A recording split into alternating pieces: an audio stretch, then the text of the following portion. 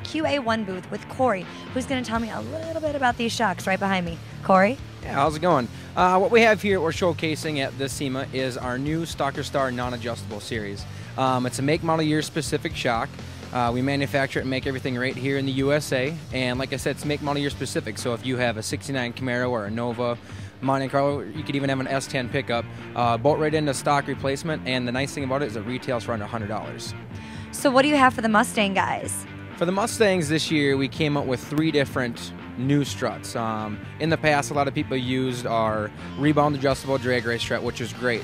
Um, what we did is we expanded on that line a little bit. So we came out with a single adjustable, which adjusts both the compression and the rebound together, um, a double adjustable, which does them independently, and then we also came out with a drag race version that has a firm compression and a large range of rebound control.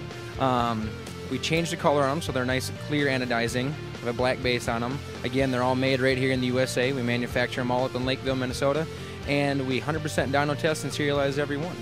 So you guys got runner-up for best engineered product. Tell me about that.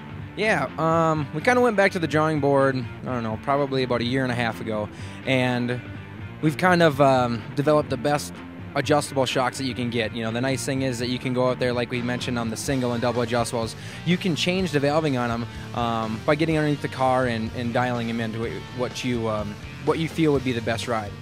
But what we decided to do is actually take that one step further. So we launched this year a new wireless adjustable system. How it works is actually it can either work with all our new shocks that we have out, and actually you can retrofit all the shocks that we currently have out there in the market.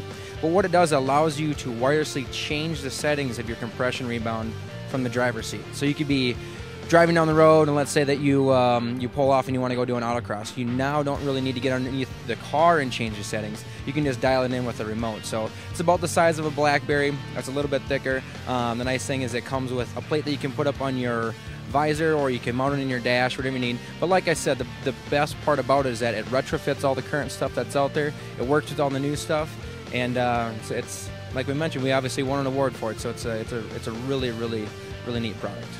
To find out more information about the shocks, struts, all these great products, make sure to check out QA1's website at qa1.net.